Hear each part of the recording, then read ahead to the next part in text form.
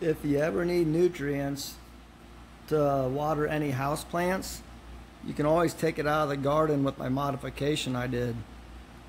All you do is turn the pump on so it waters the Gardyn. Then you open up this valve and you can fill up any container. It's the same way I uh, drain the system if I need to drain it. Sometimes I get a little helper in the process.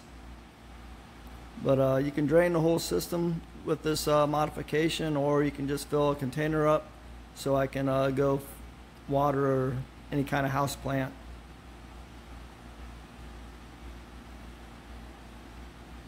And just shut the valve back off and uh, tuck the hose back inside.